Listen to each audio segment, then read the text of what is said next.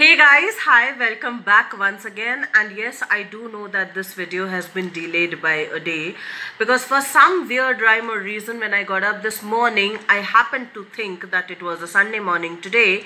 And I was kind of glad that it is my day when I'll be posting the video, only to realize that it was a Monday morning in India over here. And even when I thought of that, I kind of had this another thought which made me realize that again, Sunday and Monday were relative aspects to me understanding a certain aspect about myself and my reality. And somewhere out on this planet, there was a Sunday happening somewhere, and that Monday was also coming to a closure somewhere. And so it all made sense in a very random, weird way that yes, Sunday is out there somewhere and that Monday is coming to a closure, and that for me, I am experiencing a different aspect of Monday or a different aspect of Sunday, and then it is all okay. So, here I today want to talk about reality. Reality that may be a construct, reality that may be a download reality that may be a perception and reality that may essentially be a conditioning. And yes, it does sound a little constrictive, it does sound limiting, and yes, it is uneasy. But then maybe think about it. Maybe the reality that we all assume our reality to be may be just a construct. It may be a conditioned process also. It just might be our conditioning to accept our realities in certain ways, in certain knowns and certain unknowns, in uncertain knowns and in uncertain unknowns. And those unknown uncertains are really scary for most of us and yet at the same time certain specific known certains are also scary because they kind of limit our definition of the reality that we experience the reality to be. And does it sound confusing? Well, it's not really that confusing. So let us take up a few examples to understand or to even try and comprehend as to how our reality might be just more of a construct, might be a programming that has been downloaded into all of us. It just might be too limiting, a conditioned reality. So let us take up this example over here of this fabric. Now if you see these three different colors, we have a certain kind of a green which I am assuming it to be a green. So this in my understanding and the language that I'm speaking right now should be a green. It should be defined and categorized as some sort of a green. Now, some might argue that this is a little muddy green, some might argue that it is an olive green, some might argue that it has a tinge of black to it, and some might argue it has a tinge of gold to it. So that's again everybody's perception of their own reality. But this essentially in the English language is green. But then let us take up these two colors. Is it a blue or is this a blue? Is this a green or is this a green? Is this a bluish green or is this a bluish green? And is this a greenish blue or is this a greenish blue? Can't really say, can we? And when I dived into this topic a little further, I happened to come across a video wherein I came to realize that the color blue in itself is a relatively new concept, a new addition in the English language that we all speak today, or that, at least most of us speak today, or most of us do understand today. So, blue in essence is a relatively newer color. It's something that we identify as blue.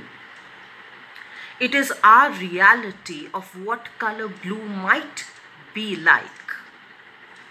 And we can have all hues and shades of that, all tints and shades of that. And yet, there are languages which are older than the English language, which do not have the concept of blue, which do not have the blue color in their dictionary. And blue for them is just another variant of the color green. It's just a little variation of the color green. They don't have blue in their dictionary. So they do not recognize blue as a different color. And there is this tribe in Namibia wherein a particular experiment was done on, their, on them, wherein a certain spectrum of green color was given to them, was placed in front of them, and there was an addition of this particular blue in all of the greens that was placed before them. And they were asked to choose the blue color, which they could not, because they do not have the identity of the blue color. And yet, when I saw that, I was able to identify the blue color because I understand, I have the know how of the color blue in English language. And yet, at the same time, when those people were given a whole spectrum of similar looking green color, and they were asked to identify one that was a little dissimilar to the others.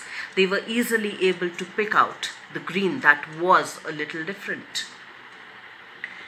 And yet, when I looked at those colors, or even most English speaking people were asked to do that, they were not able to identify that particular color of green which stood out for the tribe in Namibia. And isn't that fascinating? Isn't that absolutely brilliant? That a certain tribe has no identity of the color blue, and that is why, even when it is placed before them, they are not able to identify it. And yet, when similar looking green colors are placed before them and they are asked to identify one that is slightly dissimilar, they are able to identify that and we are not able to do it. So let us take up a few more examples.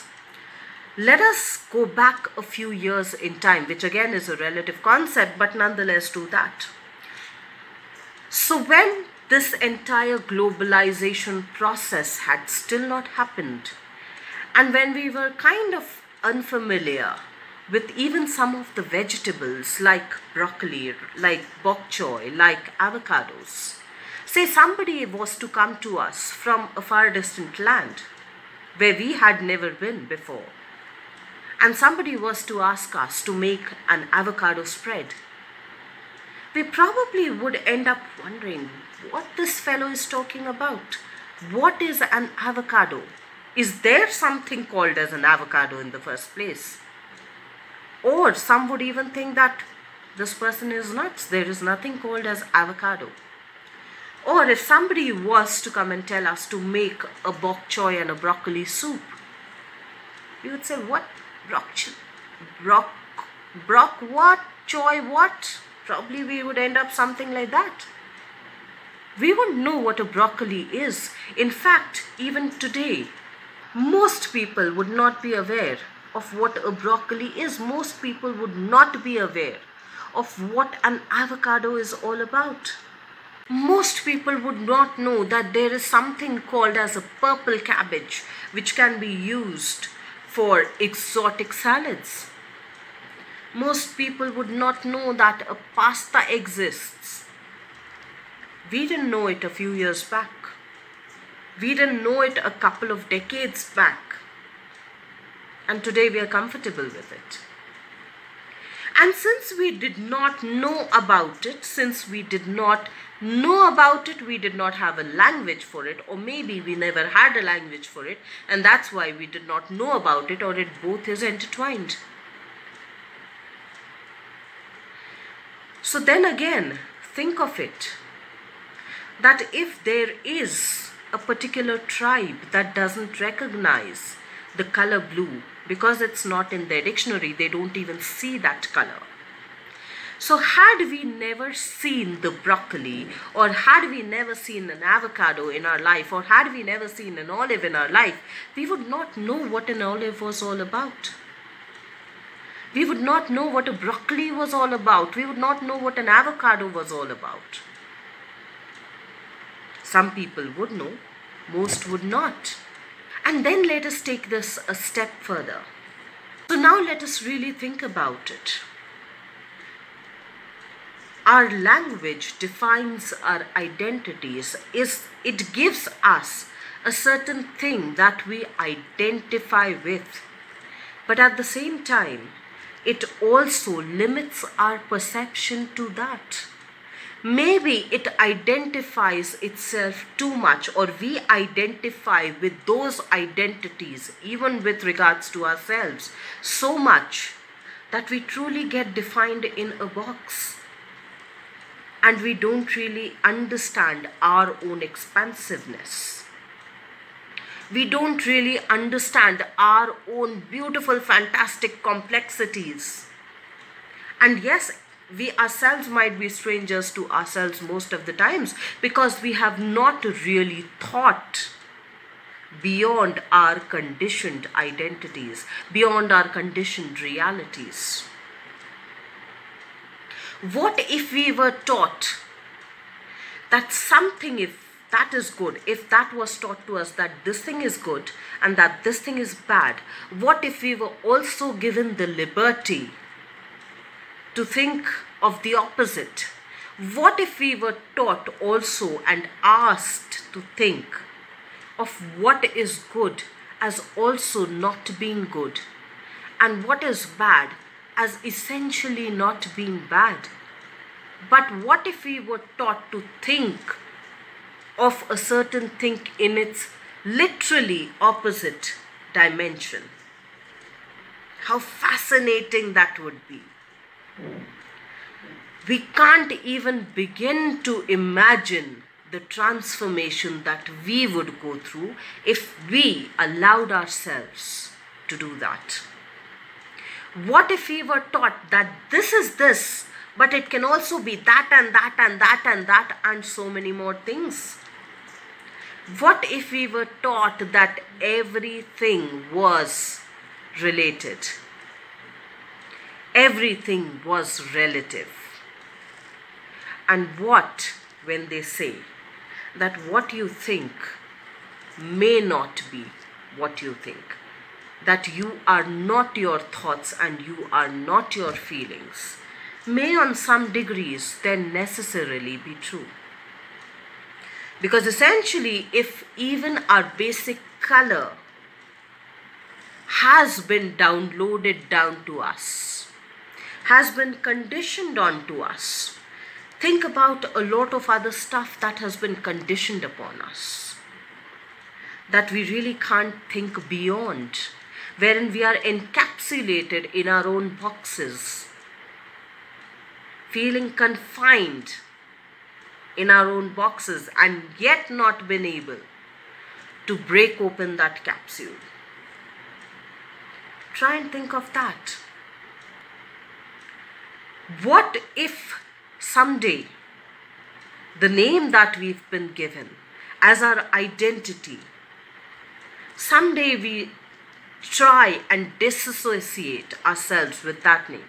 What if someday we are able to take our name and just as a random experience, not identify with the name that we have been given, that has been downloaded into us, that we've been conditioned to associate with. What if we can detach from that name that has been given to us? What if someday somebody calls us and we don't associate with that name? We don't recognize ourselves with that name. How would that feel? Can we truly think of that? Maybe no. Maybe it's too difficult because it's a program that has been so inbuilt that it's kind of difficult to disassociate from all of the programmings. But wouldn't that be fantastic? To kind of even venture into our programmings to be able to see that we are all programmed at the end of the day. And what if we try and unprogram ourselves, even for moments in our lives, as the extension of life itself? Wouldn't that be liberating? Wouldn't that be fascinating? Wouldn't that be truly transformational? Try and think about what all have you been conditioned into believing about your reality. Try and think if your reality is not a part of your conditioning. Try and think if you are an original thinker, not a part of this matrix. Maybe that starts the process of the evolution of life. Let's try and do that, and I will see you once again next week. Till then, stay tuned in.